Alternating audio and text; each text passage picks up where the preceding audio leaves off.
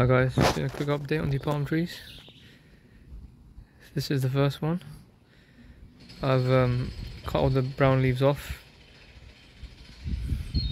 It's not looking great. Did pour copper fungicide and everything else. Um, but as you can see the blue bits there. But look, it looks like it's coming back, so should eventually recover.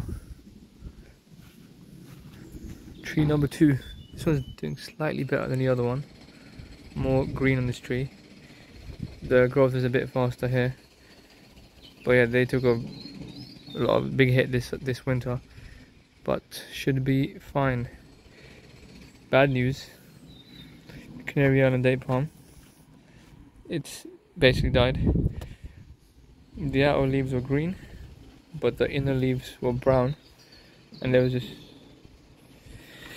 Smelling of rot there. The other thing is I think I poured too much hydrogen, I mean copper fungicide, all that blue stuff right there. I poured the whole bottle in the middle and I think that might have killed it. Because all the copper fungicide was just rotting the inside. So yeah, a bit of a shame. But yeah guys, that's what the palm trees are looking like the minute.